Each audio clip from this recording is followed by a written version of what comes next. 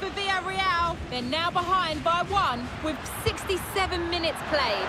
Thanks for the update, Alex. Opportunity here. Oh, that is a majestic goal. Volleyed home with precision and style. Superbly done. Well, as you can see, he gets everything right here. What a skillful volley that is.